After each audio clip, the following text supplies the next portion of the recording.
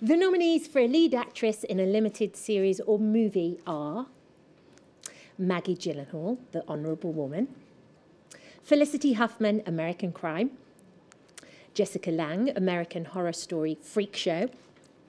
Queen Latifah, Bessie, Frances McDormand, Olive Kitteridge, and Emma Thompson, Sweeney Todd, the Demon Barber of Fleet Street, live from the Lincoln Centre.